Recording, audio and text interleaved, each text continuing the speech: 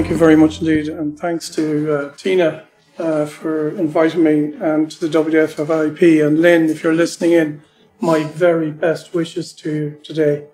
Uh, I can't speak enough for how highly uh, the members of the WFIPP have enhanced the European Association of Urology. And this conference is going to enhance it even further. And I congratulate Tina on highlighting an issue uh, that's clearly very important. So I was asked to speak about where the European Association of Urology sees itself. Uh, basically, the European Association of Urology is one of the biggest group associations of urology in the world. Even though it's European based, it has many non-European members and links very closely with North America as well, and our, our sister association, American, American Urological Association. So the first question, I, I thought the title, uh, and I'm glad that Tina has already told me this is hard to define what sustainable continence care, because I couldn't. I struggled to actually define what sustainable continence care was. I will attempt to do that in my talk. And how we perceive it in the European Association of Urology and how we should achieve it. And this talk is really about how I hope that as part of this important discussion, European Association of Urology can assist the development of this initiative, which is, as I say, very important. Next slide. Uh, very simply, I'm in charge of the patient office. Uh, I have a background uh, in, I, am a, I'm a pelvic oncology, oncological surgeon, urologist, but of course I deal a lot with incontinence uh, as a consequence, especially in survivors. Um, the one issue the patient wants to know is sorry, there's two issues. First of all, they want to know they're going to be treated successfully. But the second thing is they want to know how to live with their disease. And in 2022, most patients are living with their diseases, disability. And surprisingly, as a small specialty, urological issues are a very potent cause of chronic disability, particularly urine incontinence. The American National Institute of Health projects it would be more prevalent than hypertension and one of the biggest financial burdens on the American Treasury by 2050. It's a huge issue. And of course, it encompasses everything from intellectual disability to neurological disease to female urology. It's, it's multidisciplinary, chronic illness. But, uh, sorry, next slide. So, going back to the question, how does the European Association of Urology uh, perceive sustainable continence care? Well, we perceive it as helping the patient to live with their disability while being aware of the impact of their condition on the environment. That's probably the best way I could describe it. But as you can see, while as urologists, we're very good at treating incontinence in hospitals, but most incontinence care is community based in non hospital environments. And of course, we've little or nothing written in urological literature, I would say nothing on the environmental impact of continence. So, what do we need to do in the EAU?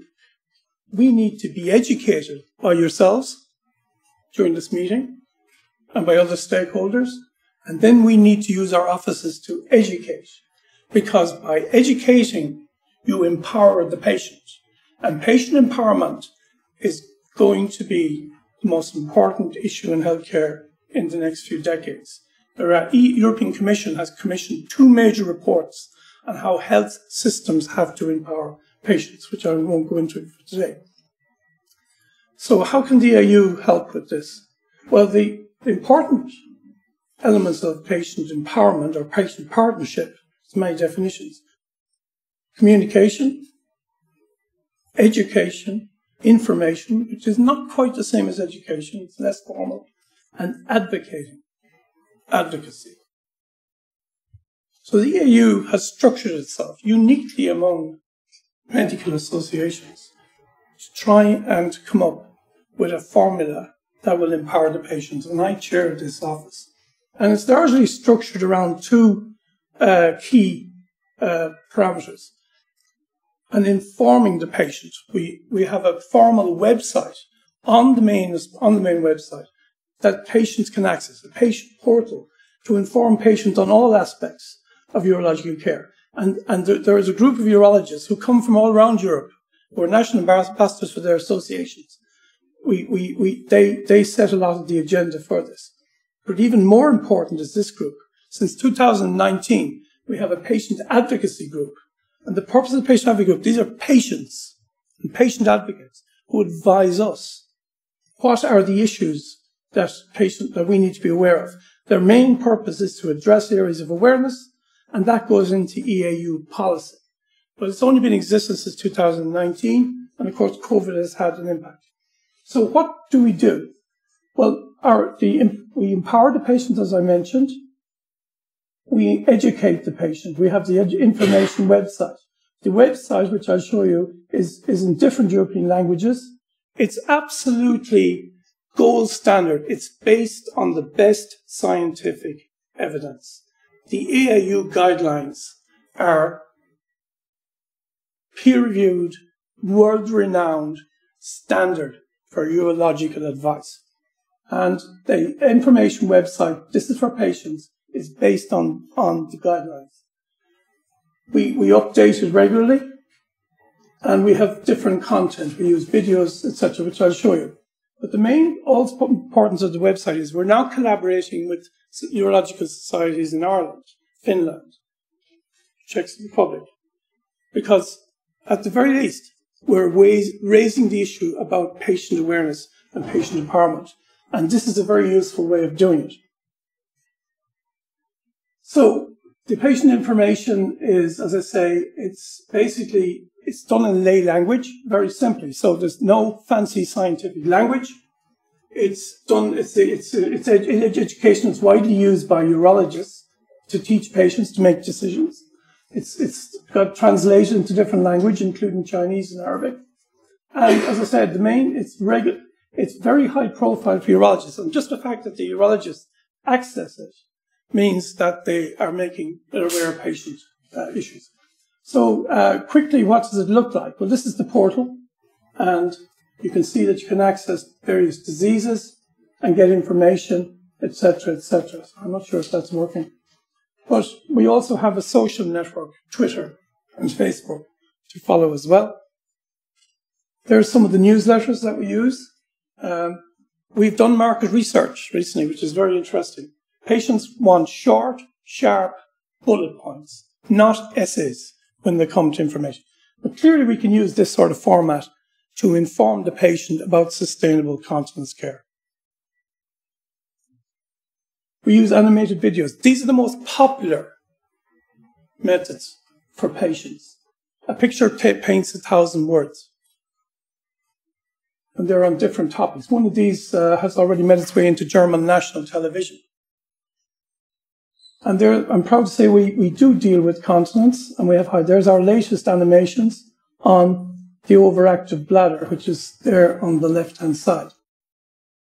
These are the, these are, animations are very popular, and we translate them, and we affiliate. Just to update you, we we, work, we have a major collaboration now with the Czech Society, and uh, uh, and the Irish Society, who are, and these societies are formally incorporating that portal into their own national websites. So the benefits are we're, we're getting better, we're pictorially putting information out there, animations, and we need to put that out for sustainable continence. We're doing the clinical stuff, how to live with disease, but we need to raise this issue further and we need to up our game. We need to update. And I'm here to listen and to learn. We use simple language and we well inform our patients. So finally, the other important, equally important, if more, if not more important, and this is evolving, is the patient advocacy group. These, this group will inform the EAU as to what issues matter to patients. And then it's a two-way, it's a two-way process. There's the current advocacy group. We're proud to have Lynn on as a member and she represents uh, non. There's a lot of oncology patient members, but Lynn, of course, is a very important member of, of the office. So, what's the real role? Well, you see, having patient advocates gives the, us the EAU, the network. And then we can take that advice and put it out, out into the social media, out into the network. So this obviously is a very important strategy for communication. And just to show our commitment, we have a patient day solely for patients at the annual meeting, where patients present their work, not what doctors think patients should be talking about, what patients think should be talking about. And I'm proud to say the roundtable is a, is, and I would encourage you to attend in July, is on sustainable continence care. And I thank Lynn for bringing that to our attention. And finally, there is a sub office. I'm chairman. There's our head of education. There's our head of policy who deals with DAU, Hein van Poppel. There's our sections. The, the patient advocacy group. This issue of sustainable continence care now has come to us. We need to integrate that into the EAU uh, offices of education, put it in the journals, put it into the guidelines, patient specific guidelines, which we do, and policy, etc., etc. And as I say, I'm, I'm, very thankful to be here in Finland, this beautiful country. Uh, I'm here to listen, so I look forward to interacting with you and to uh, hearing what the issues are, and hopefully the EAU is certainly here to do their part. Thank you.